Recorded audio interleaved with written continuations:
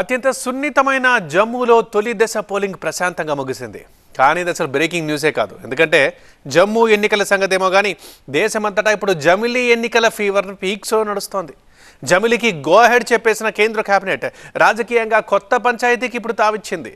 మిత్రపక్షాల ఊతంతో నడుస్తున్న బీజేపీ ప్రభుత్వం జమిలీపై ఎలా ముందుకెళ్ళబోతోంది? ఇదే టైంలో మిగతా పార్టీల ముఖ చిత్రాలు ఏంటి టోటల్గా జమిలీ ఎన్నిక అనేది నేషనల్ వైడ్ హాట్ టాపిక్గా మారింది ఇప్పుడు.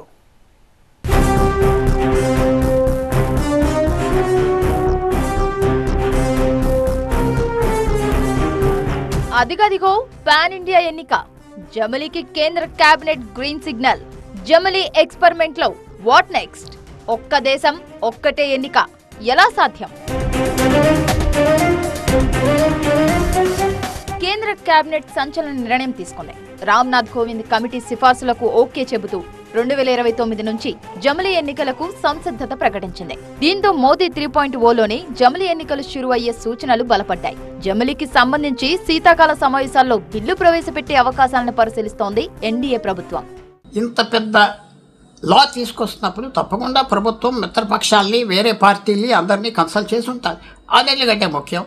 ఇలాంటి అవసరం వచ్చిన చట్టాలు నార్మల్ పార్లమెంట్ చట్టం కావాలా? లేకపోతే కాన్స్టిట్యూషనల్ అమెండ్మెంట్ కావాలా? కాన్స్టిట్యూషనల్ అమెండ్మెంట్ అంటే టూ థర్డ్స్ మెజారిటీ కావాలి. ఇప్పుడు అందరికి కనపడి ఏంటంటే మామూలు చట్టం పాస్ చేస్తే చాలు. వాళ్ళకి మెజారిటీయే కాదు ఇంకా ఎక్కువ ఓట్లు కూడా ఉన్నాయి బీజేపీ ప్రభుత్వానికి. సో తప్పకుండా ఇది పాస్ అవుతుంది పార్లమెంట్లో. జమలి ఎన్నికలు అంటే లోక్సభ నుంచి పంచాయతీల దాకా దేశమంతటా ఒకేసారి ఎన్నికలు నిర్వహించడం. పంతొమ్మిది వందల యాభై ఒకటి నుంచి పదిహేనేళ్ళ పాటు ఇదే విధంగా జరిగేవి. తర్వాత గాడి తప్పి దశల వారీగా ఒక్కో రాష్ట్రంలో ఒక్కోసారి ఎన్నికలు జరుగుతున్నాయి. మళ్ళీ మోదీ హయాంలో జమలి ఎన్నికలపై కసరత్తు మొదలైంది. సాధ్యాసాధ్యాలు సవాళ్ళపై రిపోర్ట్ ఇవ్వాలంటూ ఎనిమిది మంది సభ్యులతో మాజీ రాష్ట్రపతి రామ్నాథ్ కోవింద్ కమిటీకి బాధ్యత అప్పచెప్పింది. నూట తొంభై ఒక్క రోజుల అధ్యయనం చేసి పద్దెనిమిది వేల ఆరు వందల ఇరవై ఆరు పేజీల రిపోర్ట్ కేంద్ర ప్రభుత్వానికి అందజేసింది రామ్నాథ్ కమిటీ. అనేక దఫాలుగా ఎన్నికలు నిర్వహించడం వల్ల ఆర్థిక భారం పెరగడమే కాక వలస కార్మికులకు ఇబ్బంది కలుగుతోందని అభిప్రాయపడింది రామ్నాథ్ కమిటీ. సిఫార్సులను కేంద్ర కేబినెట్ ఆమోదించడంతో ఈ దిశగా కీలక అడుగు పడ్డట్టయింది పైగా ఎన్డీఏ సర్కార్ హయాంలోని జములు ఎన్నికలు నిర్వహిస్తామన్నారు ఇటీవలే హోంమంత్రి అమిత్ షా. మోదీ పంద్రాగస్టు ప్రసంగంలో కూడా జమలి ప్రస్తావనుంది ఇందులో రాజకీయ కోణాన్ని కూడా చూస్తున్నాయి విపక్షాలు. రాజకీయంగా నాలుగవసారి వాళ్ళు ఏ విధంగా గెలవాలనేది ఒకటి బీజేపీ రాజకీయంగా ఎట్లా బలపడాలనేది రెండవది.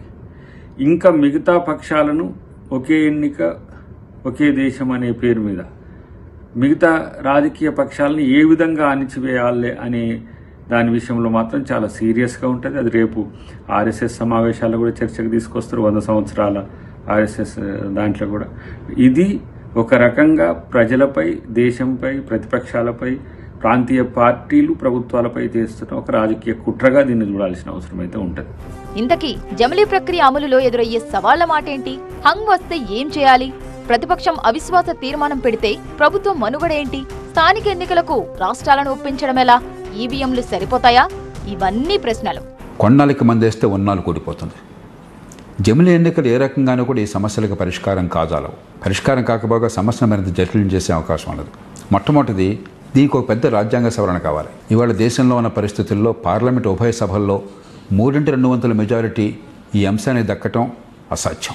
పదవీ కాలాన్నే గనక మీరు సగానికో మూడో వంతుకో కుదిం చేస్తే మిగిలిన ఐదేళ్ళలో రెండు మూడేళ్లు పోగా మిగిలిన కాలానికి మాత్రమే శాసనసభ పరిమితం అవుతుంది మళ్ళీ ఎన్నిక జరిగినా కూడా అన్నట్టయితే ఇక దీర్ఘకాలంలో ఆలోచన ఉండదు ఈ ఎన్నికల్లో గెలవటం ఎట్లాగా మళ్ళీ వచ్చే ఎన్నికల్లో గెలవటం ఎట్లాగా మన గొడవ అంతా దాని మీదే ఉంటుంది ఇప్పటికే ముప్పై రెండు పార్టీలు ఓకే చెప్పినప్పటికీ ప్రధాన ప్రతిపక్షం కాంగ్రెస్ సహా పదిహేను పార్టీలు వ్యతిరేకిస్తున్నాయి ఇది ప్రజాస్వామ్యం ఏదనిపిస్తే అది చెయ్యడం కుదరదు అంటోంది కాంగ్రెస్ పార్టీ हम तो उसको नहीं मानते ये ये नहीं चलने वाला है डेमोक्रेसी में ये डेमोक्रेसी को टिकाना है तो जब जब चाहिए तब इलेक्शन करना पड़ेगा వన్ నేషన్ వన్ ఎలక్షన్ పై స్పష్టత మాత్రం లోపిస్తోంది అమలుపై ఎలా ముందుకు వెళ్తారో వేచి చూసే ధోరణిలో ఉన్నాయి మరికొన్ని పార్టీలు ఇప్పుడే మీరే చెప్తున్నారు ఒక దేశం ఒక ఎన్నిక అని కానీ మరి అది ఎట్లా నిర్వహిస్తారు ఎట్లా ముందుకు పోతారు ఆ విషయంలో ఇంకా వివరాలు తెలవాలి ఎందుకంటే మొన్ననే పార్లమెంట్ ఎన్నికలు అయినాయి ఏప్రిల్ మేలో మరి మొన్ననే పార్లమెంట్ ఎన్నికలైన తర్వాత వన్ నేషన్ వన్ ఎలక్షన్ అంటే